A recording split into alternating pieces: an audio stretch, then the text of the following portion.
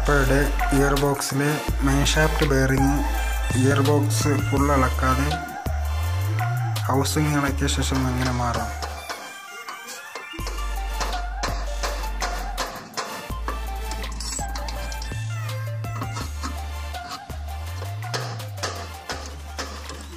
bearing ഇളക്കാനായി ഉപയോഗിക്കുന്നത് ആപ്പയുടെ തന്നെ എഞ്ചിൻ ഓയിൽ ലെവൽ നോക്കുന്ന ഓയിൽ സ്റ്റിക്കാണ്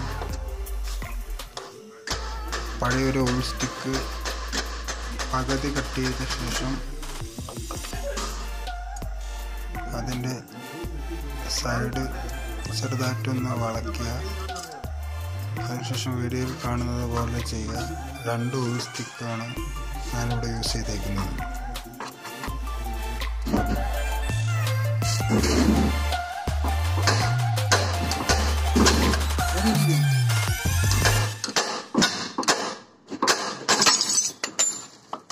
ഇതാ മുതൽ ആ സിമ്പിൾ